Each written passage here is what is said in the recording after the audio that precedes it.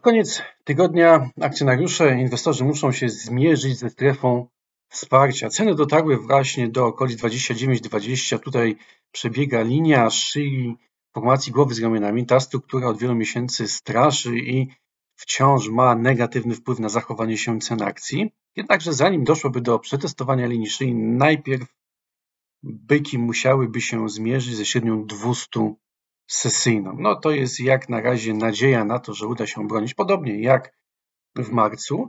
I należy zwrócić uwagę na fakt, że ta strefa linii szyi pokrywa się z długoterminową strefą wsparcia związaną z ekstremami z poprzedniego roku, kwiecień 2022, tam był szczyt. Tutaj także znajduje się linia trendu wzrostowego, która łączy kluczowe minima i trochę niżej przebiega średnia 200-tygodniowa. Wszystko to sprawia, że tak naprawdę ta strefa jest bardzo ważna z punktu widzenia obrony.